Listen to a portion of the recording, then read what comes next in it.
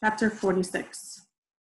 I don't know how long my dad and I looked through that box. I know we looked at a lot of the treasures inside, but not all of them. I know there was a little bit of laughing here and there at funny pictures and silly stuff we'd put in, but not a lot.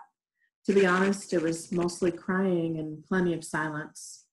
It couldn't have been that long. I mean, we were in the middle of a construction zone after all, and they were totally cool about the whole thing, but they did have a lot to get done, and Gladys gave that cop a bruise, but she didn't exactly give him an extra load of patience when she did it. So I bet it was really only a few minutes that we knelt there and for the first time in a long time shared some memories. So I don't know how long it lasted, but I can tell you how long it felt like. It felt more or less exactly like five years. It felt like breath by breath we felt back and back and back back through all those years and all those miles, back away from coyote and rodeo, and back to just me and my dad. And then I was kneeling there and I was a daughter again. I was a sister again. And rodeo, or dad really, rodeo had a wife again, a wife that he missed like oxygen.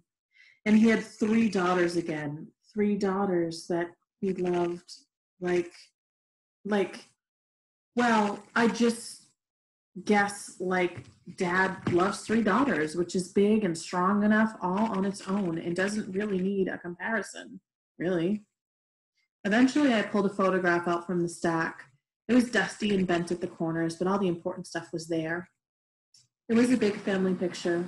It was me in a tank top, tiny and grinning, and a big gap between my front teeth. Next to me was Ava, tall and pretty, one arm thrown casually over my shoulder, pulling me just a bit off balance, so I was leaning on one foot toward her. Behind us was Dad. Lord, he looked different. I didn't even remember him ever looking that way. Normal clothes, clean cut hair, trimmed short, smooth shaved face. You could see his chin and everything. He was squinting a little because of the sun, and he looked easy and happy and young. Next to him was Mom. She was right behind me, and you could kind of tell I was leaning back against her. She was smiling, and there was a little bit of laugh to her smile, like someone had said something funny just before the picture was taken. Rose was in her arms, one hand around Mom's neck, perched on her hip, one eye closed against the glare, showing off her baby teeth in a big smile. I held the picture up and I could hear Dad breathing beside me, breathing like he'd just come up from the bottom of a lake. I held up the picture and I pointed at Ava. Who is this? I asked my dad, and we both knew I wasn't asking who it was. I was asking him to say her name, to say it out loud, to stop running. It was hard. It almost felt cruel, but it was what I needed, and I think it was maybe even what he needed. Rodeo swallowed and breathed through his nose. Who is this? I asked again, even quieter than the first time. My voice wasn't slapping him, it wasn't pulling out splinters, it was taking him by the hand. It was pulling him up from where he'd fallen. My dad rubbed his eyes. He tried to say something, but his voice caught and he cleared his throat and tried again, but there was still nothing there. So he took one more breath and tried again, and on the third try, he got it. That's Ava, he said. That's your big sister. I moved my finger to Rose, snuggled up in Mom's arms. Who's that? That's your little sister, he answered, and his voice was a scratched out whisper, but it was there. That's Rose. My finger slid to my mom, and the picture shook in my hand, but you could still see her despite the shaking, still see her smile, still see her shining eyes, still see my mom. Who's that? It took a couple tries again, but my dad did it. That's your mom, he said. Anne. And when he said it, he said her name. He reached out with one finger and he touched the picture. He ran his rough finger soft down my mom's arm. And then I asked, Who's that? My finger was pointing at him, at my squinting, young, unbroken dad. He sucked in a breath and blew it out with a sigh and shook his head and said, That's me. That's your dad. He said it like he almost didn't quite believe it. He said it sad. He said it like he missed that smiling, clear eyed man almost as much as he missed the other people in the picture. Well, maybe not almost, maybe not even close, but still, he missed him. My finger moved to the last face in the picture. Who's that? I whispered. Who's that, Dad? His arm tightened around my shoulder.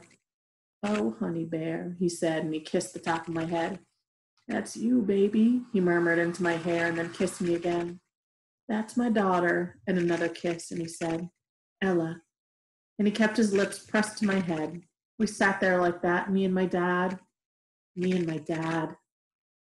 And then there was a sound of a throat clearing behind us, and I knew without looking that it was the cop and that our time was up. I appreciated that he only cleared his throat and that he hadn't growled or snarled or said something hard or officious or impatient. I pulled away just enough to look my dad in the eyes, and I was relieved to see that his eyes were there with me and they were whole. They were sad and red, but they weren't empty and they weren't far away at all. They were Rodeo's eyes, open and honest and there, but they were my dad's eyes too. I would have smiled, but it wasn't really a smiling kind of moment. I don't know what kind of moment it was really, but I know it was a big kind and a good kind, and in that way, big moments can be good without being happy exactly. I nodded to him and sniffled, and he nodded back and rubbed his nose with his arm, and then I put the picture back in the box, laid it gentle like it was made of ash, and then I pulled the lid of the box closed and snapped the latch shut. And my dad stood up. He reached down with his big old hand and took hold of my free one and helped me up. We turned and faced the cop together. The cop was looking serious, but not sour. I mean, he wasn't going to tell us a joke or anything, but he wasn't going to slap handcuffs on us either. All right, he said. We're going to need to get back and have you answer some questions about, uh, he gestured over his shoulder with his thumb, the bus situation. Yeah, Dad said, and he said it soft and easy. I'm sure we will, officer. The officer walked off ahead of us, and me and Rodeo followed. I nodded at the workers who were still standing there and waiting, and I said a few thank yous, but I stopped in front of Travis and I looked him in the eyes and said a clear and true, Thank you, sir. And he just smiled and shrugged and said, Heck, I needed a break anyway. And I smiled back, and then he said, more serious, I'm real glad you found it, miss. And I decided right then and there that I was a big fan of rough, hard fellows who called girls miss.